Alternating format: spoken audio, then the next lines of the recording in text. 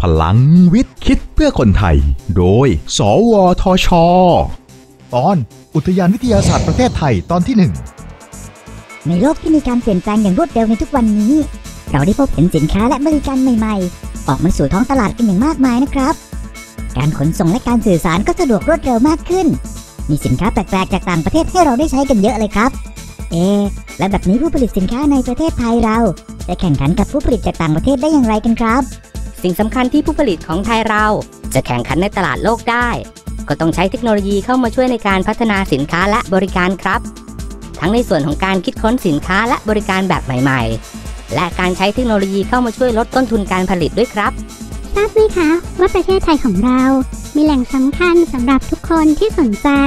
อยากจะใช้เทคโนโลยีมาช่วยทำให้สินค้าและบริการของไทย เข้าไปแข่งขันในตลาดโลกได้ รวมถึงช่วยเหลือด้านเงินทุนและภาษี ภายใต้สภาพแวดล้อมที่ทันสมัย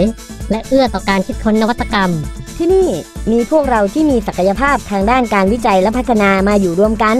เพื่อช่วยให้คนไทยได้มีศักยภาพที่จะแข่งขันกับตลาดโลก ที่นี่ก็คือ อุทยานวิทยาศาสตร์ประเทศไทย นาคนด้วยวิทยาศาสตร์ พัฒนาชาติด้วยเทคโนโลยี สอบถามรายละเอียดเพิ่มเติมได้ที่ สวทช 02 564 8000